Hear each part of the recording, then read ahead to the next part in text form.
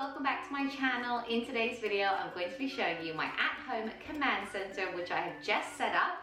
This school year, I vowed to be more organized, so I thought I would share this with you because it was really simple to do and hopefully it will provide you with some inspiration as well. So I hope you like this. If you do, give it a big thumbs up. And if you're